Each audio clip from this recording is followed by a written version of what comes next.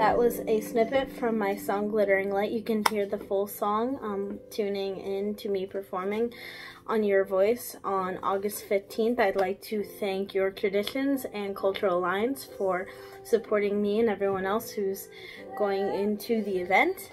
So see you on August 15th.